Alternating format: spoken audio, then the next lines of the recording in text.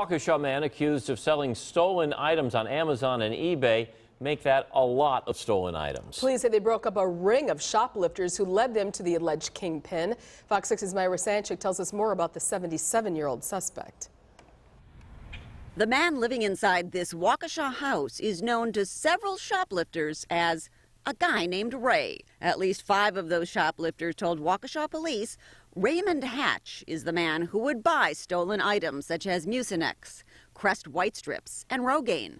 A criminal complaint says the shoplifters took the items mainly from Target stores like this one in Waukesha. But police say Targets throughout southeastern Wisconsin were hit in 2011 and 2012. A Waukesha detective says Hatch also purchased the contents of stolen cargo trailers in Milwaukee. What would he do with all the hot stuff? Police say he'd resell it on eBay and Amazon. A young man who said he was Hatch's son had nothing to say on the record. I think I'll leave that up to my parents. So I went back later to see about that. Raymond Hatch was doing a little yard work. Can we talk to you?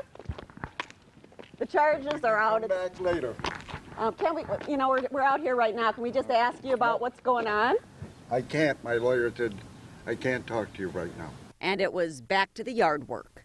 But the complaint says Hatch told police he saw between 50 and 100 people per week who sold him items in Milwaukee. He also estimated reselling around $100,000 in stolen merchandise.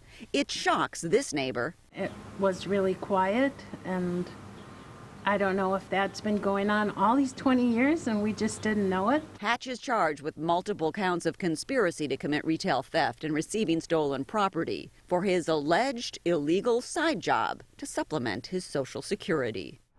And Hatch has his initial court appearance June 10th. The complaint says police found more than $16,000 in drugstore type items in his home. Live in the newsroom, Myra Sanchick, Fox 6 News. All right, Myra, thank you. Uh, It says in the, uh, the script